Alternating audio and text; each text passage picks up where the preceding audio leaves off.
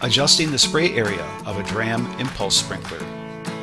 Hi, I'm Andy for Dramm Lawn and Garden. I'm going to explain the components and parts of the Dramm impulse sprinkler. I will also show you how to adjust the spray area and spray pattern. There are three variations of the Dramm impulse sprinkler.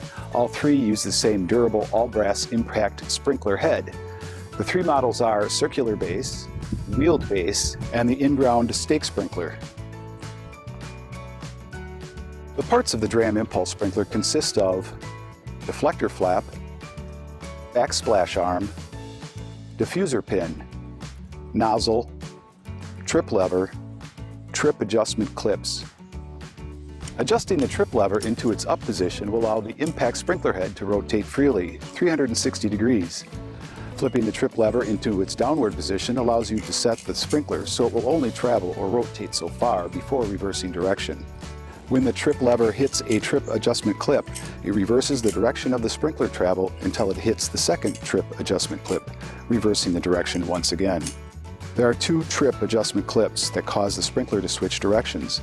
Placing them closer together will make the spray area narrower. Moving the trip adjustment clips farther apart will widen the spray area.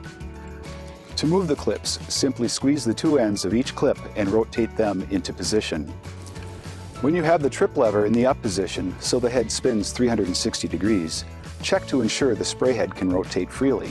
Otherwise, the sprinkler head may be stopped and spray in only one spot. If the upper trip adjustment clip is rubbing against the spray head, push the clip downwards so the spray head can clear the clip and spin freely.